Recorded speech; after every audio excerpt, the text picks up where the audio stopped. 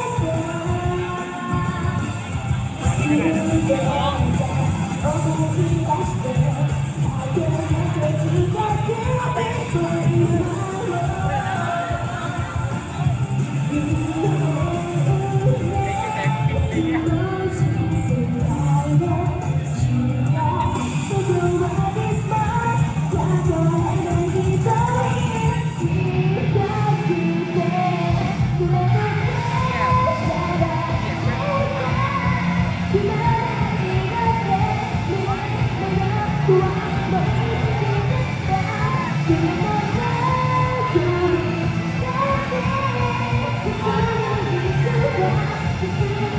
you.